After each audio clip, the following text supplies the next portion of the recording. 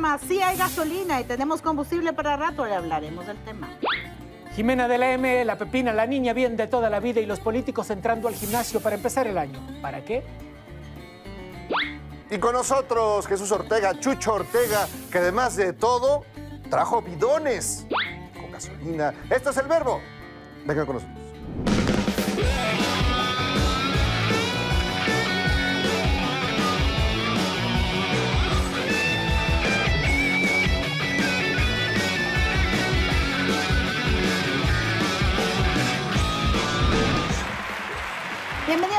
¿Cómo están? Gabriel, Jairon, ¿todo bien? Bueno, saludos, vamos al Verbo News.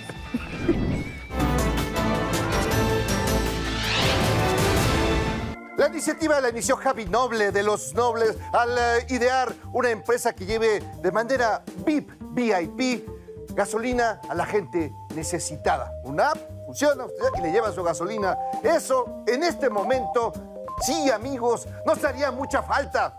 Porque uno anda como Mad Max cargando acá los bidones por el desierto. No se vale, amigos. No se vale.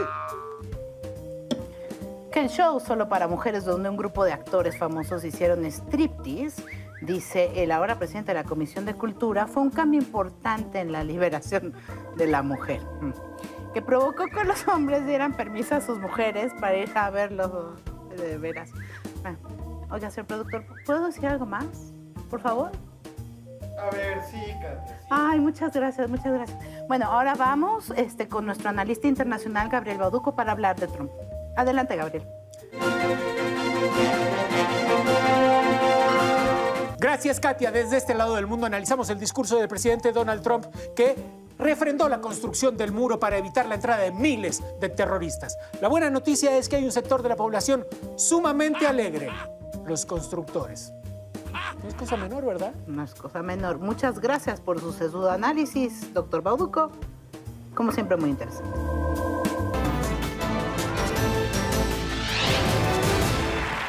Ah, ese doctor Bauduco es un genio. Pero bueno, vayamos con Claudia Juárez para hablar de los 10 programas más importantes en materia social de AMLOB. Entre las prioridades del presidente Andrés Manuel López Obrador están los proyectos de infraestructura y proyectos sociales, siendo estos últimos los que están por iniciar. ¿Cuáles son y de qué se tratan? Aquí se los cuento. El gobierno iniciará la entrega de recursos de sus tres principales programas sociales. Pensión a personas con discapacidad. Las personas con alguna discapacidad recibirán una pensión de 1.274 pesos mensuales. La entrega de esta ayuda iniciará en Tlapa Guerrero. Se prevé que en este programa se entreguen un millón de pensiones para este sector. Jóvenes construyendo el futuro. En Naucalpan iniciará la entrega de las becas a jóvenes que no estudian y no trabajan. El programa contempla beneficiar en su primer año a 1.610.000 jóvenes para que puedan continuar con sus estudios de preparatoria y universidad. El apoyo será de 3.600 pesos mensuales. Pensión a adultos mayores. En el Valle de Chalco, Estado de México, comenzará la entrega de pensiones universales para los adultos mayores a partir de los 68 años. En este programa el apoyo mensual será de 1.274 pesos.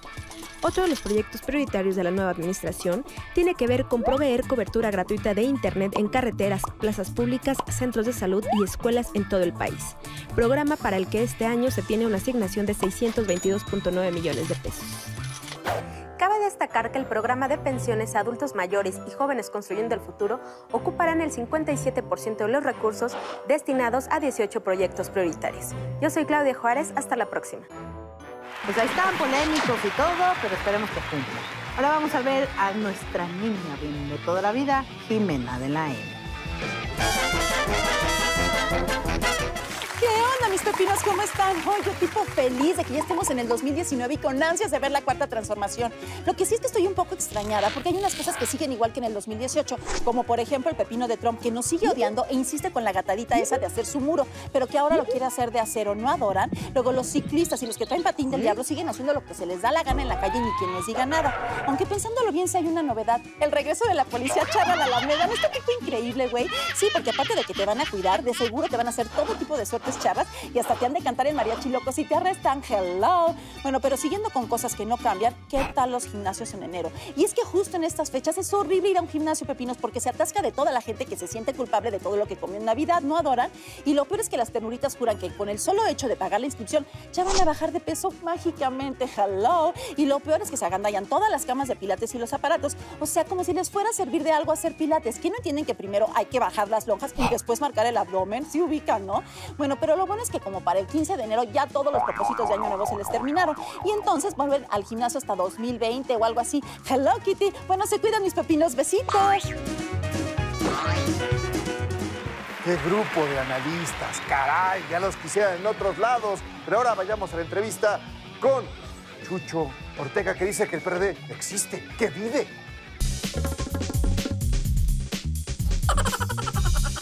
Pues ya está aquí Jesús Ortega, del PRD. ¿Todavía existe el PRD? Sí, Desde luego. Desde luego. De veras, ya, Y en serio. pausa, no, También lo pensó. No, ¿sabes por qué la pausa? Porque no hay entrevista Donde no te hagan la misma donde no Ay, qué poco empiezan haciendo la misma pregunta. Qué barbaridad. O sea, te la regresó y yo así diciendo, tengo, y yo tengo que decirles, oigan, el PRD nos han dado extremaución cada vez que pasan elecciones. Si tenemos 30 años existiendo, O sea, los, Y ¿cómo, vamos cómo a va la seguir. frase? Los muertos que matáis gozan de buena salud. los muertos que, que vos matáis matáis. gozan de cabal salud. Y sí, sí, de salud. No, tenemos Vemos enfermedades como, como, como todo el mundo, como todos los partidos en México y Menos en el Morena. mundo. No, ¿O Morena también también, Morena? tiene grandes dificultades. A mí me parece que la perfección no existe y un partido que no tenga dificultades está muerto. Nosotros tenemos dificultades, entre otras cosas, porque estamos vivos, porque estamos saliendo de momentos muy complejos y muy difíciles. No es fácil haber tenido solamente dos líderes y luego uno de ellos que se haya salido dividiendo al PRD por la columna vertebral. Dos líderes son Cuauhtémoc Cárdenas sí, y Andrés Manuel López y no Obrador. pierdan de vista que en nuestros tr- más de 30 años de existencia hemos tenido dos candidatos a la presidencia de la República. Ah. Y entonces uno de ellos, después del 2012, se sale del PRD, no crea otro partido, crea un movimiento, una parte muy importante del PRD se va con él, vamos a las elecciones y el PRD sobrevive. Ok. Y yo no digo que sea una gran hazaña, pero sí digo que cuando menos es suficiente para que se tome en cuenta como parte de un gran esfuerzo de mantenerse vigente en la vida política. Pero la alianza con el PAN tampoco ayudó. No ayudó desde una perspectiva, pero yo platicaba hace rato que hay una historia de cómo sobreviven las democracias frente a líderes populistas. Y una manera de que sobrevivan las democracias frente a liderazgos populistas es que se desideologicen partidos políticos para hacer coaliciones democráticas que enfrenten a los populistas. Y si ustedes observan... Pero no, no le robaré la esencia a un partido si le roba su ideología, alma. de la No, porque la- el- los términos de ideología ahora son pos la Guerra Fría. La ideología, después de la caída del muro de Berlín, debemos de repensarlos, porque la ideología ahora parece como dogmas religiosos, como visiones estrechas de ver la realidad. Yo no digo que hay que perder principios, que son diferentes los principios a las ideologías. Ok, a ver. Pero hablemos de la izquierda. Exacto. ¿no? Je- Jesús, este, hablas de un proceso de reconstrucción y defiendes incluso la este, posibilidad de las alianzas, pero ustedes no están listos para ninguna alianza porque están madreados por dentro todavía, digamos. Hace un par de meses estuvo aquí Jesús Zambrano y habló de un PRD sin vacas sagradas. Se dijo vaca y te dijo vaca sagrada. un PRD en el ¿Zambrano que- dijo eso? Sí. Un, un- un PRD en el que ustedes no tengan un lugar protagónico en la dirigencia del partido. Ya hay un, un grupo colegiado al frente del partido, digamos, pero ¿cuál es el futuro de este A ver partido? Inicias una pelea. No, no, no, para nada. Pues si lo dijo en la tele, oye, ¿yo qué? hermano, ¿qué es eso? No, está, está bien, pero mira, Los creo que el, término es correcto. Ni líderes mesiánicos, ni vacas sagradas, que a final de cuentas es lo mismo.